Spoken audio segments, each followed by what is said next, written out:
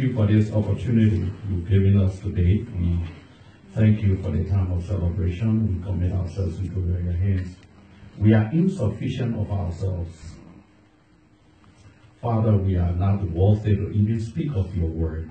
So, we have made ourselves to you when we are empty, when we are naked, us. When we do not have understanding interpretation, give us understanding interpretation of your word. Let someone receive of the engrafted word today, Father. We come against every strategy of the enemy to steal your word and to hinder your word, Lord. We thank you that your word will go forth. We are touring that someone will leave from here celebrating. We give you all the glory and the honor in Jesus' name. Amen. Have your seats, please, our principalities and powers. We are glad to be here once again. Uh, speaking of the, the importance of the resurrection. What we need to take into consideration as believers is that uh, everything else that has to do with every faith and every religion uh, can be doubted. But what cannot be, which uh, people have tried to prove beyond all reasonable doubt, there was never a resurrection, have failed numerous times. Because the evidence proved that somebody died. The evidence proved that somebody was pronounced dead. The evidence proved that nobody would have lost all the fluids in their body and yet and still lived. So the evidence is there. And the, the tomb is there to show that someone was in, was in that and because there were others that were buried. And those ones' bones are still there. But the evidence shows that uh, not only did the person die, but the person arose. So the, the, the, the foundation of the Christian faith is based on the resurrection of Jesus. That's that's the that's the that's the, the basic foundation of the Christian faith. That you can deny everything else, that Jesus is not God, that Jesus uh, was married, that Jesus, they can bring all the accusations, but they cannot deny that indeed Jesus resurrected. Because there are all evidence that show the clothes, clothes that he was wrapped in, show the piece of cloth that he had to put on his face. Even when his face was wet, the print of his face left on the cloth.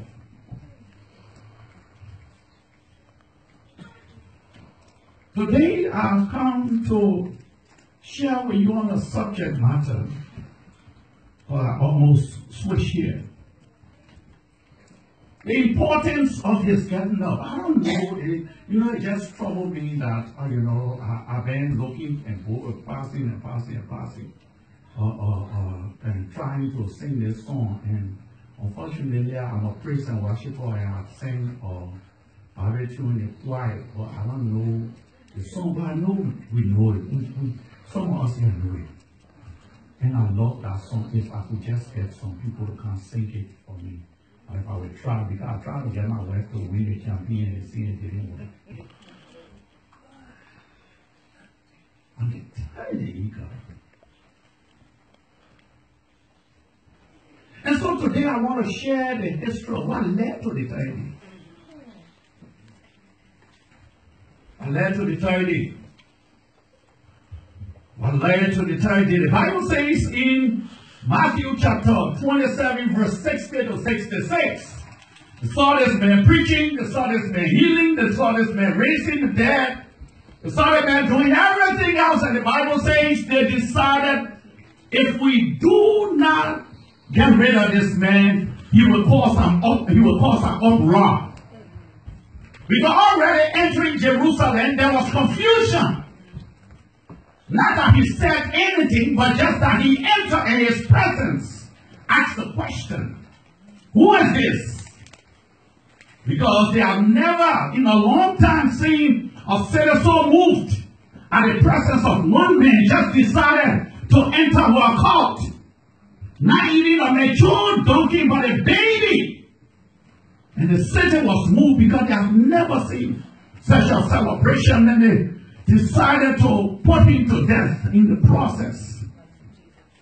The nailing on the cross and, and he said the seven words and the blood gushed out and he died and they decided to break his legs and then one of the men said, no need. Scripture must be fulfilled that not one of his bones was broken.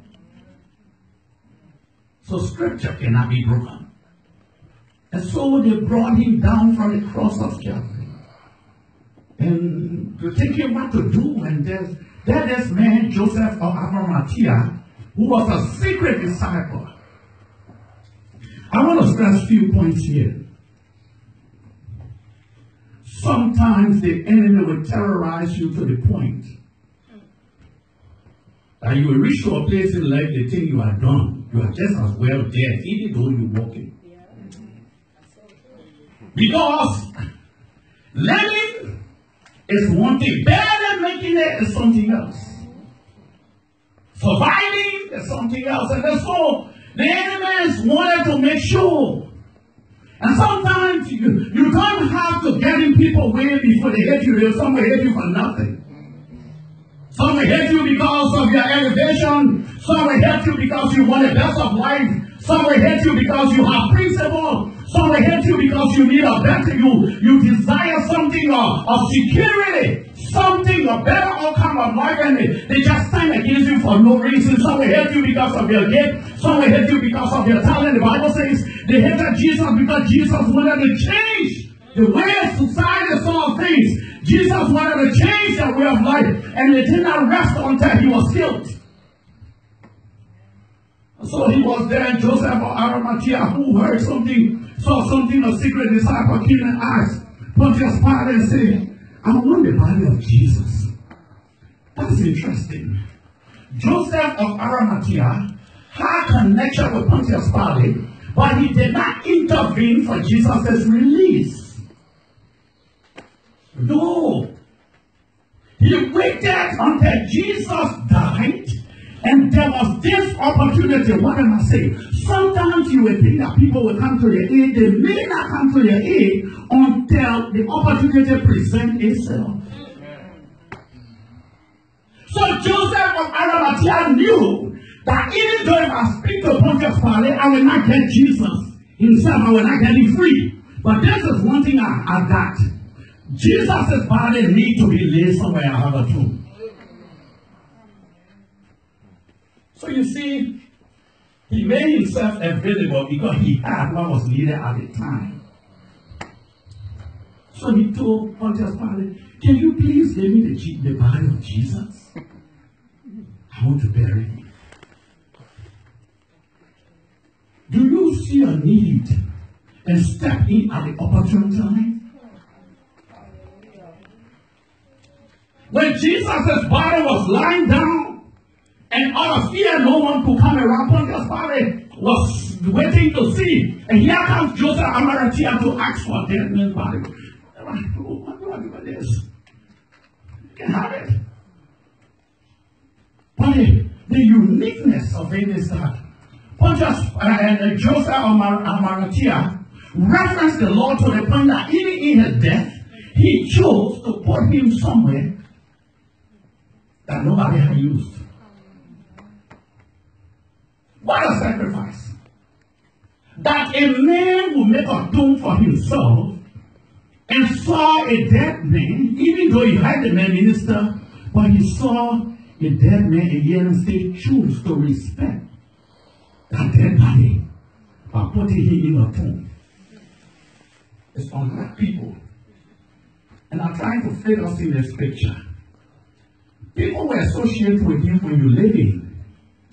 When you are dead, technically, they won't want to associate you. Not that you're not breathing. You may be breathing, but you're dead. when life takes another time for the worse, nobody will want to make the tomb available for your burial, even if they will, it must be a new tomb. Not a new one, because this is a sacrifice. Who Who are you dead already? Are honoring you in your death? By giving you what I've not used. It's easier to give somebody when you are used than to give somebody something you are not used. It must be a point of sacrifice that Joseph of Arimathea referenced Jesus to the point. He said, I want to give you this tomb. People have bought another tomb before, but he chose to give him what he bought for himself, never used. The Bible says he him in there. And uh, now, according to tradition, uh, the body should be prepared. No man, no time to prepare. Everybody ran. So Jesus was taken by Joseph of Arimathea. And not only that, they put him in a tomb. Joseph of Arimathea, when they put Jesus' body in the tomb, they rolled a stone at the mouth of the tomb. And uh, the chief priest and, and all the and Pilate all gather. The Pharisees they gather to Pilate and say, Sir, we remember when this impostor was alive. We remember when this impostor was alive, he said that he would die, and on the third day he will rise again. That is strong. I don't care how down you may be, somebody will remember something about you.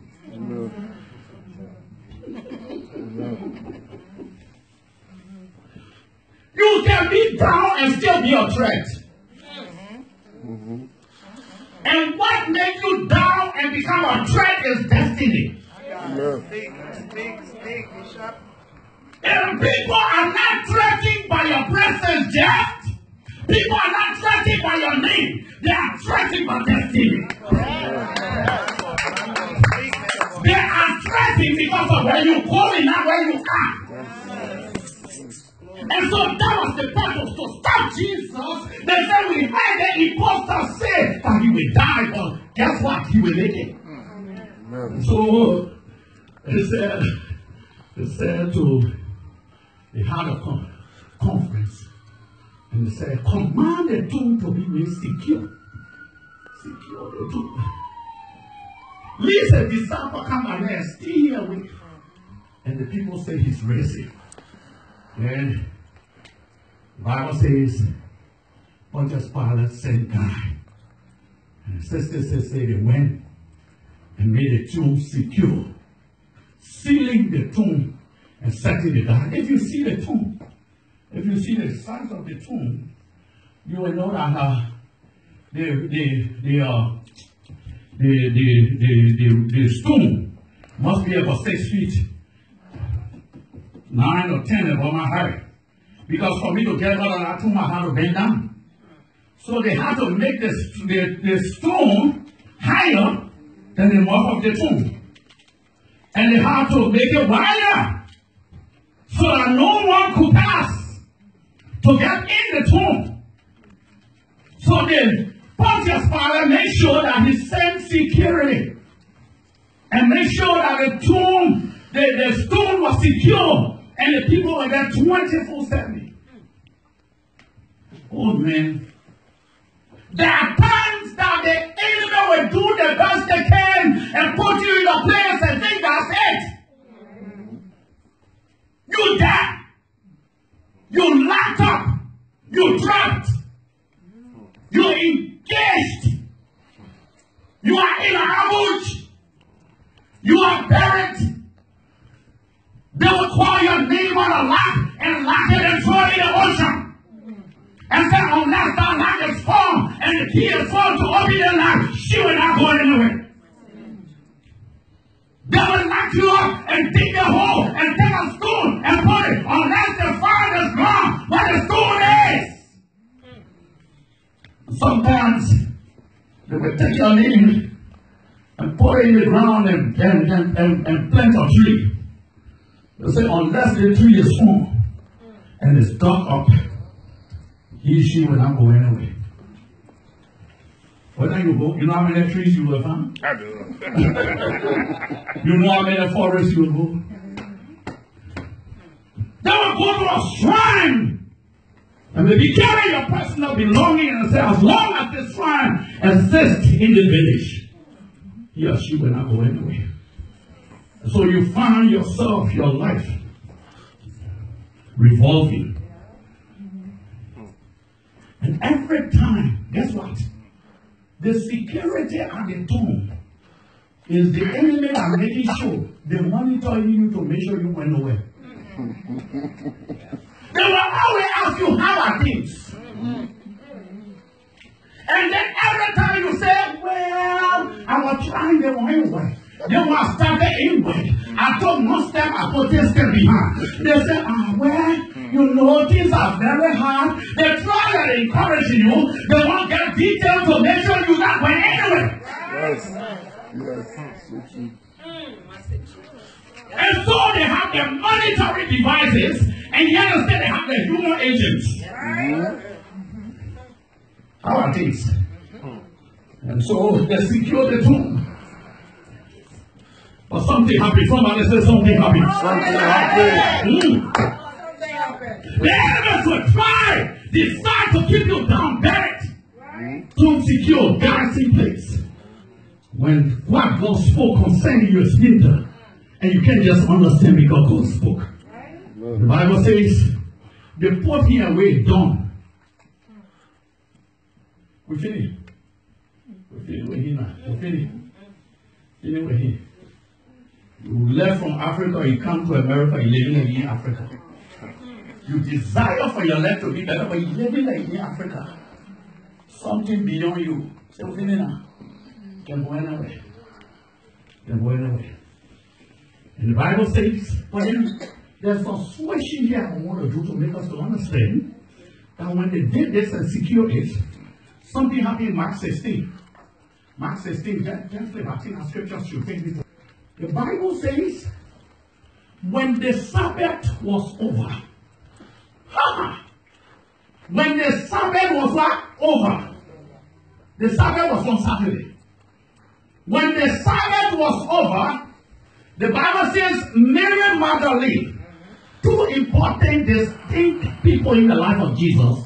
Mary Magdalene, and the Bible says Mary the mother of James. Who is Mary the mother of James? Do we know who Mary the mother of James is?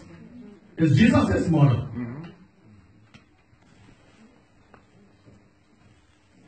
When Jesus was born, Jesus is referred to as the half brother of Jesus.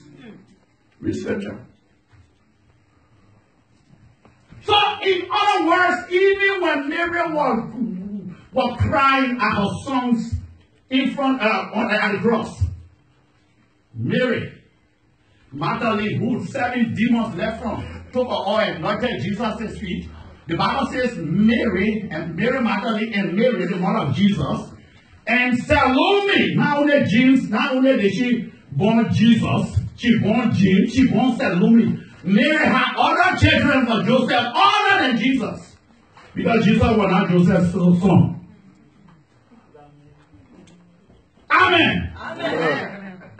So Mary was the fulfillment of God or, or of God opening her womb to her other children. So the contract between Mary and God was to bring forth God Himself. Amen. God said, if I use your womb, I will give you children. Yes. And so Mary said, Here is my womb. If you come through here, once God came through, God had to keep his father. No, no, that's the thing I left it for God. God always keep his father the battle. When God came through Mary, he said, Listen, Mm-hmm. James King. James came, Salome came. If I'm not mistaken, she had five children. Yeah. Read the word of God. Now, they took spies. Why?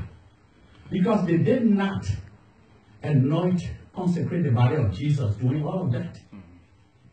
Tradition was not followed because far as concerned, Jesus was a deceiver. They took spies that they might come and anoint him. Two women. You know, Not only that, two women decided to bring the stone to go to the tomb.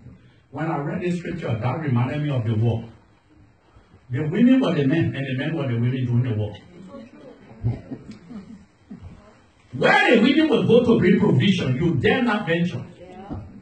This. Now when they take on of the home. And the Bible says the two women, Mary and Mary Magdalene, decided to go to the tomb and miss everything else. Security, guard, everything. They went to the tomb, but when they didn't leave very early in the morning, first day of the week, they started walking to the tomb. But then there arose, a question. They said to themselves, they're going, we're going. Now, interesting indeed, they did not ask the question, I wonder what the God will tell us. I wonder what the guys will do with us. I wonder what the people will do when we get to the tomb. They did not. They were not concerned about the security. That how much more they trusted in the Lord to the point that even in the death, they were not concerned about the security. What did they ask? Who will roll away the stone? That means the stone was more important than the security guard that was standing there. They said, we just want to know who will roll away the stone. They had a question. Who will roll away the stone? Wow, they were on a mission. But guess what? When they asked the question, who will roll away the stone, they did not stop. They kept going. Who will away the stone? And the Bible says, as they asked the question, who will roll away the stone between the two of them, go ahead.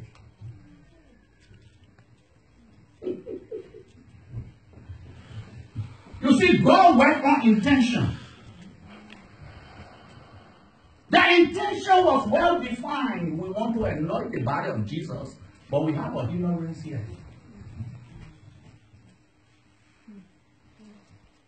We know there is a stone, but who away? We- That is our intention. We have a ignorance. Hey, that's some of us. I want to do that for God, but because of this, I leave it. Again, this is a ignorance. The Bible said they asked the question, who away the stone, but they can't go there. They can't go there. So then we flip. And the reason why I want to stay to the scripture in Matthew is because of what happened. The Bible says why they were thinking on that. In Matthew chapter 28, verse 2. Why they was thinking on that, Mary Magdalene, see, and the other Mary, they both of them, why? They were thinking of that when they could see the tomb. When they could see the stone. Still at the mouth of the throne, the Bible says there was a great earthquake. Why did God cause an earthquake? God didn't need earthquake to come outside. No, He didn't. But why the God caused an earthquake was because of the intention of two women who wanted to do something and there was an obstacle. If God knows that your intention is good, nothing stands before what you intend to do. Amen. Nothing absolutely. The Bible says there was an earthquake. The whole earth began to shake. I don't know whether you have seen an earthquake before. I don't know whether you have experienced one. But the earthquake, there was an earthquake. And the earth began to shake in front of them. They saw the earth shake in their presence. They saw where in the midst of the earthquake, an angel where 2,000 or more men or 500 men or more men put a stone and secure it into one angel to come in the midst of the earthquake and turn the four cornerstone into a rolling ball. Because the word of God says the question was not who will take the stone away, who will roll it. Oh my God. The Bible says Jesus took my body and he did what? He rolled it in the sea. So they knew and they had to do something. They said, we don't want it to be taken away.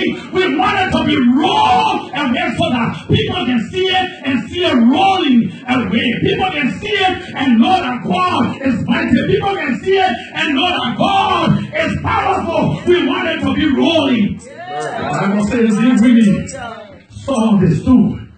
The stone in the just rolling, rolling, rolling, rolling. And when they got to the side of the door, he said, I don't want this stone coming back. Get up. I don't want this stone coming back. And what he did was, when you look at the angel, I don't know whether it's written here. Roll back stone. And his countenance was as lightning as slowly and white as snow. And the God shook. If you read about this angel, you will find out that he was just not an ordinary angel. When he rolled away the stone, the word of God says, he sat on it. It was not the earthquake that scared the guys. It was not the rolling of the stone that scared the guys. It was the person who sat over the stone that made them like dead men because they could not behold his presence. Hallelujah! They could not behold his presence. So they did not look at the stone, they did not look at the earthquake because they were familiar with earthquake, but they looked at the man who sat on the stone and they saw his presence and they said, We have not seen this. And the Bible said the line as dead men. Why? Because Mary Magdalene and Mary asked a question, who will roll away the stone? And God said, away the stone. Not for me to come out, but for you to go in and see something that you have not seen before. Hallelujah. Can somebody put their hands together for Jesus? The word of God says, he rolled a stone. Oh, let me tell you something. As a believer, there will be a shaking in your life for God to show himself. That gotta be a shaking so that our situation can change. And the Bible says God suddenly, he said, what I God have opened, no man can close. I'm setting and I'm controlling it. Hallelujah. The Bible says they, they enter in verse 6. Just keep rolling. The angel said to them when they enter in, with the spices, the angel said to them, What are you looking for? Who are you looking for? And they turned and they said, We are looking for Jesus. And they said, He is not here. Amen. Amen. And they were perplexed. But then to satisfy their curiosity, he said to them, You come and see. And I want to let you know today what God is doing today in your life. People will not believe it, but you will tell them, Come and see. I want to speak to someone. Why to you is not true, to you it didn't happen, to you it's not real. I want you to come and see that what was impossible for you. I was telling somebody the other day when I was minister when I said, you, you, you, you want evidence, come and see. Because there's nothing that God will not do that He will not reveal. Hallelujah. Not only do I want you to come and see, but come and see where He. The Bible says, oh, they walk in there. And they saw. They saw what happened. And when they saw Jesus was raising his head, go, he's raising. Tell his disciples, he gone ahead of you.